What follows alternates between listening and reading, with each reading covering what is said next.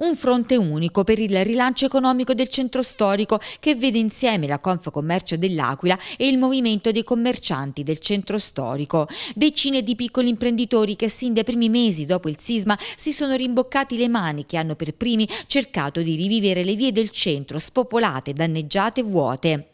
Ma le difficoltà sono ancora tante a partire da una ricostruzione che spesso impatta con la vita quotidiana, con le attività e la mancanza di parcheggi fondamentali per agevolare agevolare le persone che vogliono fare spesa in centro città.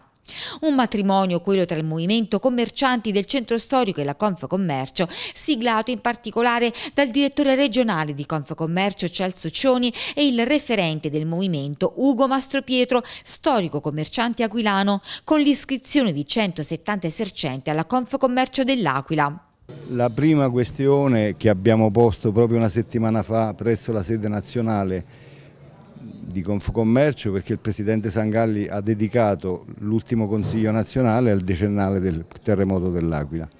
In quella sede noi abbiamo chiesto per superare tutti gli intoppi burocratici eh, perché c'è un santo protettore della pubblica amministrazione che si chiama San Ceppato e quindi si inceppano le ricostruzioni pubbliche, non ci sono gli attrattori pubblici e allora noi dobbiamo lavorare su questo piano e abbiamo fatto una proposta che il Presidente Sangalli ha raccolta. Qual è?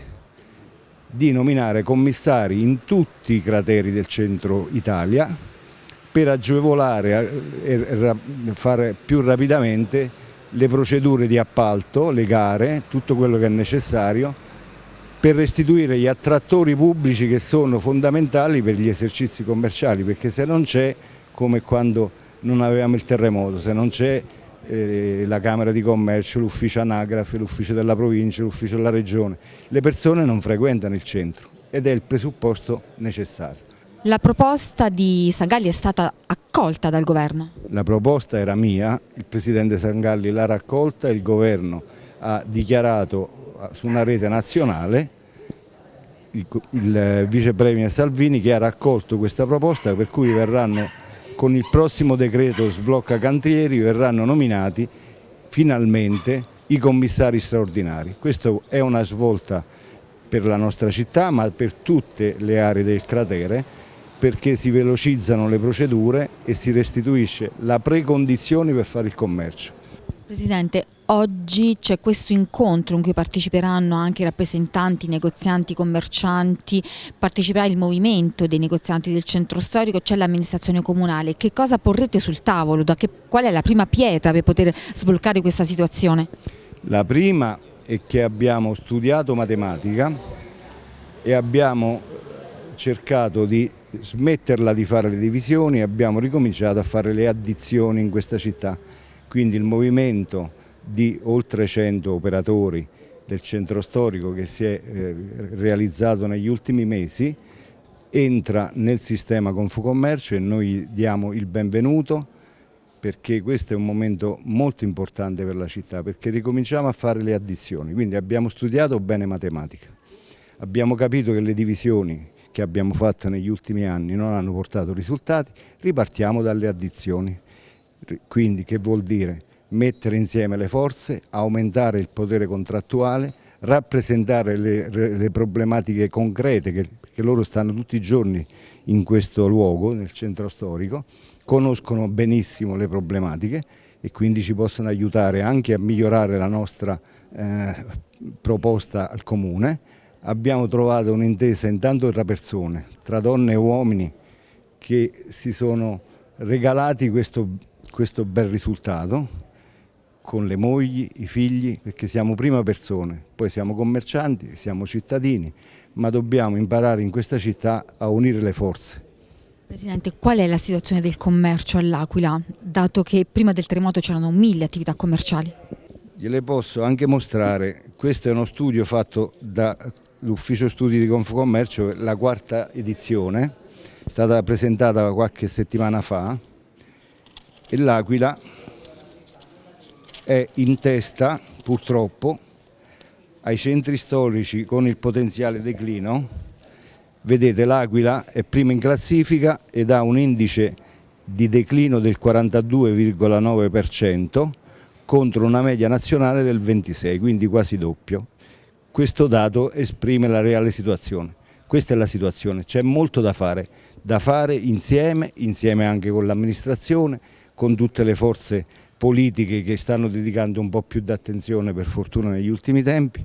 Non è mai troppo tardi, si poteva fare pure prima, ma non è mai troppo tardi. Noi abbiamo notizie che nello stretto centro storico sono un po' più di un, di un centinaio, eh, diciamo che nella zona più ampia del centro storico arriviamo anche a un paio di cento attività che comunque sono poche rispetto a quello che era il punto di partenza. Noi vogliamo riportare le mille che c'erano prima e anzi ne vogliamo riportare anche 2000, lavoreremo per questo.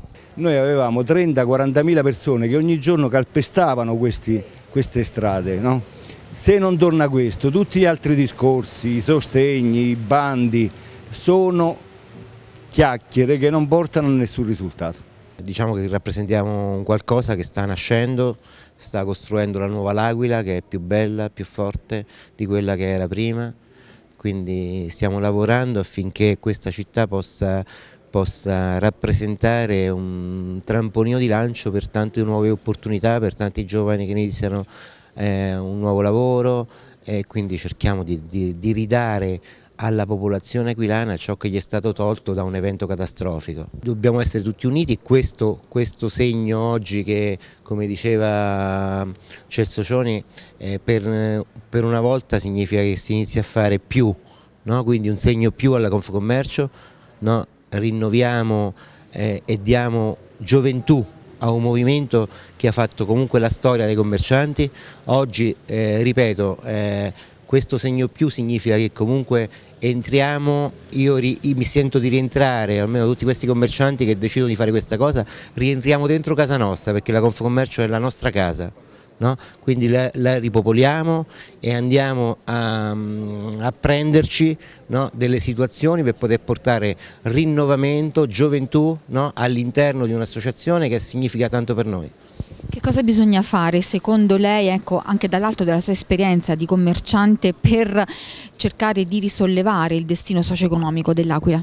Allora, l'esperienza di noi commercianti all'interno del, del, delle nostre attività è diversa da, da ognuno, No? quindi ogni commerciante ha da raccontare la sua storia, ha da raccontare le sue, le sue vicissitudini e su i suoi successi per cui per quanto mi riguarda eh, l'Aquila eh, ha rappresentato per me un, punto, un, nuovo punto di partenza, mi ha ringiovanito, una nuova sfida, no? quindi nella mia attività personale no? comunque ehm, è un'attività che comunque ad oggi no? posso dire che va, nonostante le problematiche della città, comunque è stata apprezzata e amata da, dai cittadini aquilani, per cui è un, è un risultato buono parecchi colleghi del centro mi dicono, che, che mi dicono la stessa cosa, quindi l'Aquila ad oggi sta cambiando, anche nel, nel, prima era una città chiusa, una città eh, che la domenica non aveva nessun, eh, nessun, negozio aperto, oggi non è così, ci stiamo organizzando per fare un centro commerciale all'aperto, e a Pasqua addirittura saranno tanti negozi aperti alla, alla città dell'Aquila, no?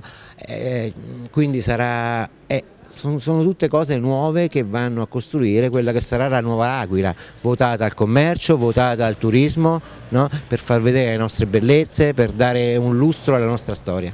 Però sono tanti commercianti che lamentano la difficoltà di fare affari in questo contesto.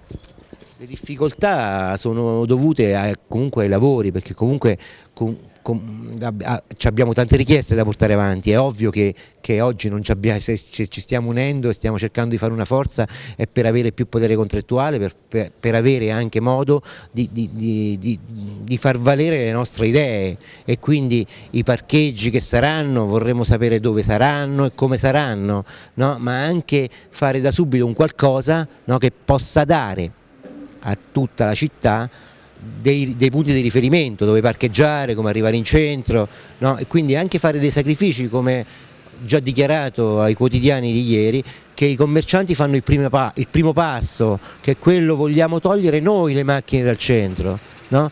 quindi vogliamo dare spazio ai nostri clienti che potranno raggiungere più facilmente le nostre attività con questo chiediamo anche che le, eh, le macchine dei, degli operai o di chi lavora alla ricostruzione no, facciano la stessa cosa nostra, quindi liberare il centro, dare la possibilità a chi viene a fare una passeggiata di non respirare i gas, no, quindi non una, non una ZTL o un, eh, una zona pedonale che ad oggi purtroppo penalizzerebbe completamente le attività in quanto i residenti sono ancora pochi, però eh, dare, dare, anche spazio a tutti i residenti che ci sono e quindi riuscire a fare una passeggiata con mille macchine in meno in questa città è una cosa che comunque aiuta.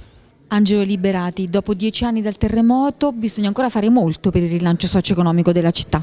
Io direi tantissimo, perché io dico ai miei colleghi, amici, e non li chiamo più commercianti, imprenditori, sono i pionieri, sono i nuovi pionieri di questa città. E purtroppo ogni giorno debbono combattere quanto per i cantieri, quanto per eh, sottoservizi sempre dei cantieri, quindi ricostruzione, sottoservizi, eh, un far west di traffico che non si sa quali sono i sensi da seguire anche per un normale cittadino e si capisce bene, già chi ha fatto il sacrificio di tornare in città per dare un servizio a questa città, perché sappiamo una cosa che è, è da, da, sempre che esiste il mondo, non può esistere una città senza il commercio, non esiste commercio senza una città, quindi manca quell'indotto da dieci anni che c'era prima, dalle manifestazioni, da quelle che sono tutte quelle piccole cose che si possono fare in una città disastrata come la nostra. Il fatto di tornare al centro è, io dico, è da elogiare coloro che hanno avuto questo coraggio, però per quanto riguarda le nostre eh, diciamo, amministrazioni, che sia quella comunale o regionale, quando meno dovrebbero avere eh, o creare dell'indotto. L'indotto è quello che, che può dare eh, l'ossigeno alle attività che si sono riposizionate al centro. Secondo voi, secondo la vostra proposta, come si può creare questo indotto? Da che parte bisogna cominciare? Sicuramente è il ritorno eh, delle banche, il ritorno degli uffici importanti, perché eh, se noi eh, ha riaperto l'Inps regionale e già lì ci sono uh, i dipendenti, dipendenti che se vengono al centro purtroppo trovano adesso come adesso 8 negozi, 8 attività su 10 su eh, 87-88 riaperte che sono somministrazione, quindi non potrebbero fermarsi il classico negozietto d'alimentari eh, o attività eh, di vicinato che eh, eh, aiutano e potrebbero fare attrazione anche per le altre attività, questo non esiste. Però questa è una volontà del commerciante, cioè devono essere diciamo così, i commercianti, i futuri piccoli imprenditori a scegliere diciamo, il tema del, dei loro negozi, delle loro attività? Sì, diciamo che se si sono aperte queste attività di somministrazione è dato dal fatto che essendo anche se con meno iscritti ma una città universitaria, loro già il giovedì eh, o il sabato portano a casa l'ingasso che riesce a farli sopravvivere. Certo, chi vuole cambiare attività o riportare un'attività che aveva eh, originalmente prima del terremoto eh, deve pensarci eh, non una volta ma quattro volte perché dice io vado lì, immesto, pure con fare centro, però se poi mi manca l'ossigeno io non riesco ad andare avanti.